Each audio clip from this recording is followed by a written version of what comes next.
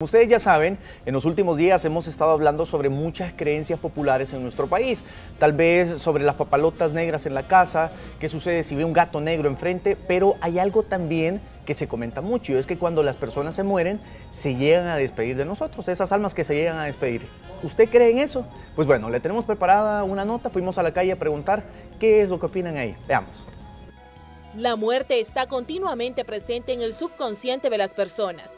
Prueba de ello son los innumerables presagios de muerte que existen en la creencia popular, que interpreta todo un acontecimiento insólito como una señal que la muerte está cerca. Una de esas señales es cuando uno está dormido, sueña que una persona conocida se ha muerto.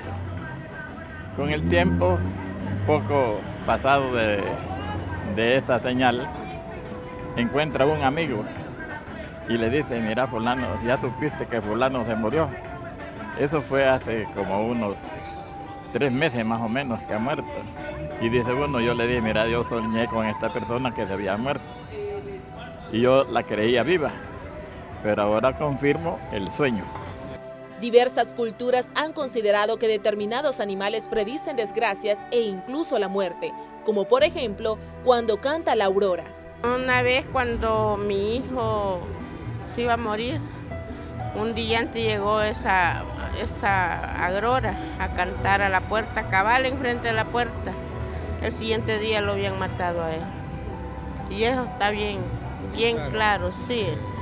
Sí, también cuando los chillos cantan, eso sí es verdad que, que va a llegar visita a la casa. Es la única experiencia que he vivido hace poco de que se me murieron todas mis gallinas. Ellos sí me avisaron como pues ellas cantaban de noche. Y yo decía, mi madre me decía, hija, cuando cantan las gallinas así es porque viene el accidente, y dicho y hecho.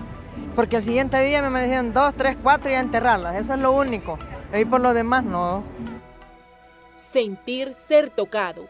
Puede ser que sea discordante, pero la sensación de haber sido tocado cuando supuestamente se está solo es una gran señal de que un ser querido se está despidiendo. Muchos o pocos lo creen. Solo que cuando está acostadita le toca en la espalda, nada más. Pero eso es normal. ¿Por qué? Es normal porque, porque esas son cositas de los nervios que usted cuando está relajando siente que la tocan. Una vez estaba yo sentada así en, en la casa, ¿verdad? Entonces mi cuñado estaba en el hospital, en el seguro. Estaba ya dando la última, pero eh, sí él sabía que, yo quería mucho a mi niño, al sobrinito. Entonces él me, yo sentí que me hicieron así, pero así, como quería decir gracias, así. Y a los tres o dos, días o tres días nos dijeron que se había muerto, porque en el seguro, Y yo dije, mi cuñado, dije, mami, le conté a mi mami, porque para entonces tenía a mi madre todavía. Le conté eso. Y sí existe eso, se da. Eso no es que digan que es mito, que no es que es real, es real, porque yo lo he vivido en carne propia. Estas señales comunes de que un familiar o un amigo va a morir pueden ser difíciles de creer, pero han sido relatadas por muchas personas. Eso es más que una señal.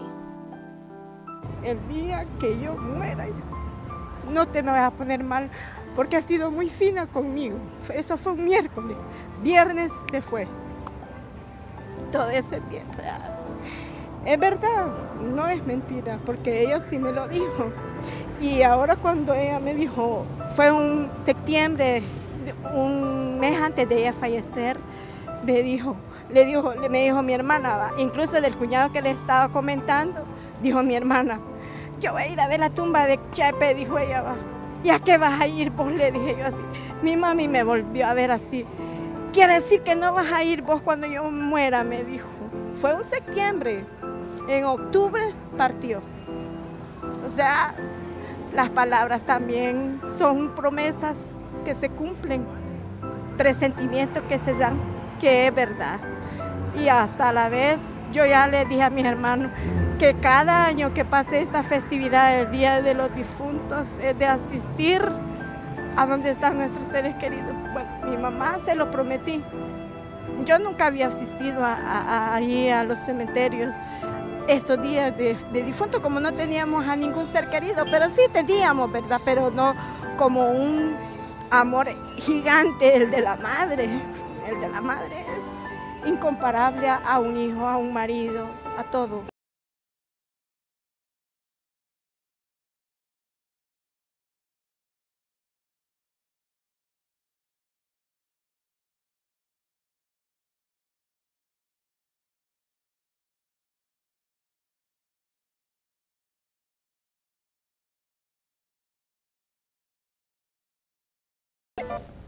¿Esa parte de las creencias populares será realidad? ¿Será un mito? Pues bueno.